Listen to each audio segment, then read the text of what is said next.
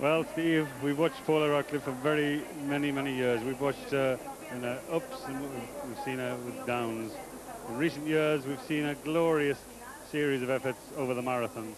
Thing about Paula, she'll never give up on it. She always wants it. She always wants a bit more. That's enough. Her Olympic dream is over. What a sad sight. She's, she's been through so much these last few weeks things haven't gone her way, and today it really has been not what she wanted. That is so cruel for Paula. Well, not surprisingly, she tried again, 36 kilometres. She couldn't go any further. She didn't want to give up. She doesn't give up. Paula Radcliffe doesn't quit races. And there she is. Oh, what an awful sight. What a real disappointment. And there's Paula Radcliffe. Her Olympic dream is absolutely shattered. I just wonder whether we'll ever see her again in the Olympic Games.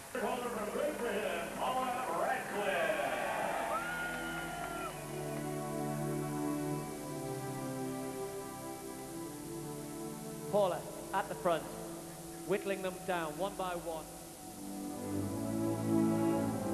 Paula Radcliffe under pressure. Paula Radcliffe clearly struggling. Stay with us, please. Don't give up on Paula just yet.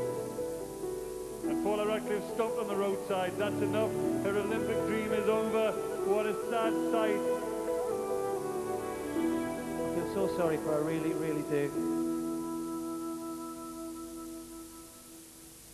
Nine laps to go. She'll work for it, though. She's determined to finish this one. Dropping out of the marathon was something that Paula Radcliffe just does not do. She does not drop out of races. Aren't she stopping? Paula Radcliffe has stepped off the track. Why am I doing this to myself? Broken-hearted Paula Radcliffe. Losing my mind on a tiny... How many more agonies do we have to go through with Paula? No, no, no, no, no. Come on. She's clearly in trouble, clearly distressed. Her Olympic dream is over. What a sad sight. But I just feel that I've let everyone else down. Paula, you haven't let anybody down at all. It's a sad sight to see such a great athlete struggling in such a way. Finishes the job she wasn't able to do in 2004. There were never going to be any medals today. It was all about a personal battle.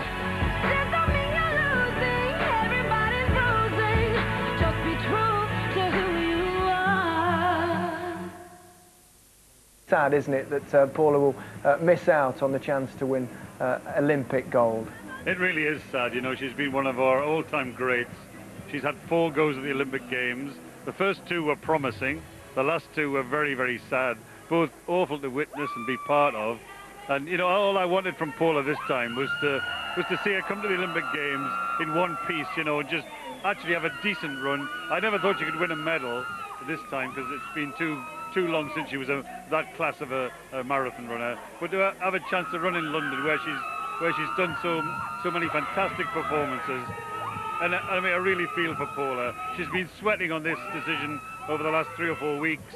It's been slipping away from her. Her dreams been slipping away, and now she's um, she's not going to be able to do it. And that's uh, it's a sad. I know she was so close. She was fourth in Sydney, you know, 12 years ago. She had a real chance in Athens, but you know, she'll be so sad that her record, when you look at it, it'll say Commonwealth, European, World Champion, and it'll say four times in the Olympic Games.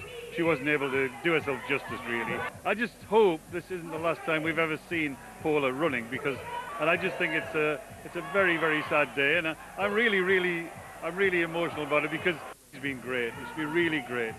It certainly has. Thanks uh, very much, Brendan. I'll leave you to enjoy what seems like a bit of a party going on behind you.